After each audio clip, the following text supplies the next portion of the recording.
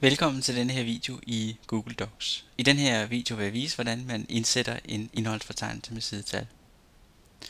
Først så har man selvfølgelig lavet sit dokument, og herefter så skal man så øh, finde det sted i dokumentet, hvor man ønsker at indsætte sin indholdsfortegnelse.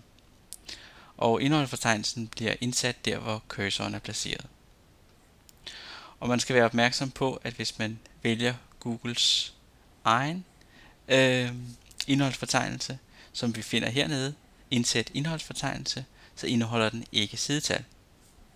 Man kan selvfølgelig godt anvende den alligevel, men det hjælper altså ikke, hvis man vil have sidetal. Vil man have sidetal, så skal man hente en tilføjelse. Det gør man ved at trykke på Hent tilføjelse.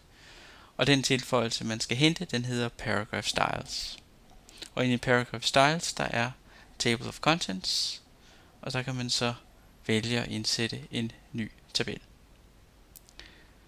så arbejder den lige lidt på at finde de her sidetal.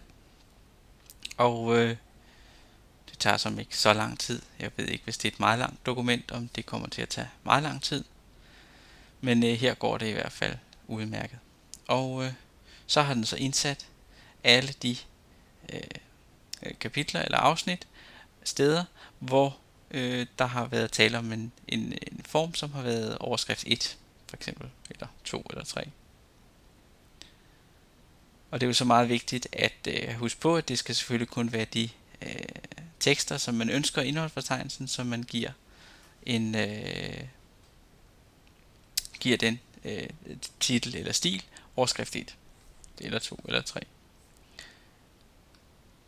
Titlen her kommer kommer også med i øh, i indholdsfortegnelsen. Hvis man ikke ønsker at øh, at den for eksempel skal med, så skal man så gå op til markere den, og så skal man så øh, fortælle, at der er tale om øh, normal tekst. Og man kan så vælge selvfølgelig stadigvæk og sige, at det skal være stadigvæk være punkt 30, og det skal være fed. Men det er så stadigvæk en øh, normal tekst.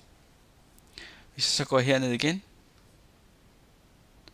så, øh, så kan jeg så vælge hernede i min, øh, i min indholdsfortegnelse, at øh, at den vil jeg gerne øh, opdatere.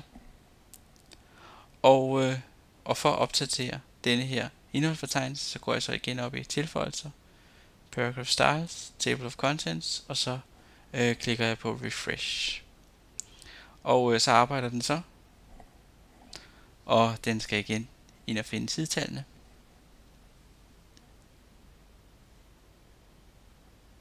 Og det tager lidt tid for den at finde sidetallene. Når den så har fundet dem, så kan vi så se, at øh, på nuværende tidspunkt, så er så min titel på dokumentet, som jeg ikke ønskede at have med indholdsfortegnelsen, den er så ikke længere med.